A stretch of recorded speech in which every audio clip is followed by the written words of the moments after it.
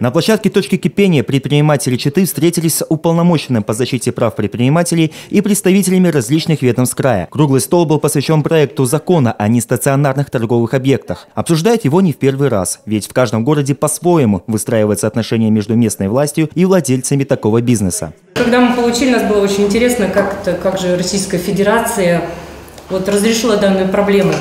И к своему, так сказать, счастью мы увидели, что они прочитали нормативные акты практически всех регионов и взяли самые лучшие, угу. в том числе из наших нормативных документов.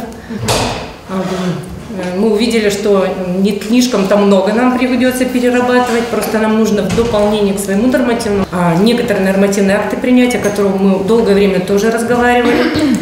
Ну вот э, одним из таких нормативных актов для нас, честно говоря, очень Актуальным является это внешний облик, как ни странно, нестационарного торгового объекта.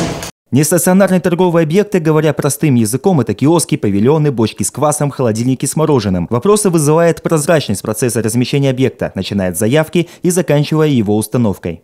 Подаю на участок я, да? Мне говорят, хорошо, придите через недельку, мы вам дадим ответ. Через недельку мне говорят, он занят. Два дня назад подались на него.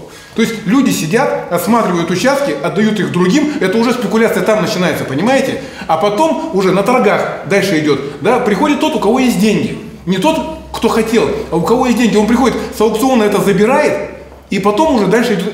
Сессия здесь ни при чем, понимаете? Все начинается намного раньше.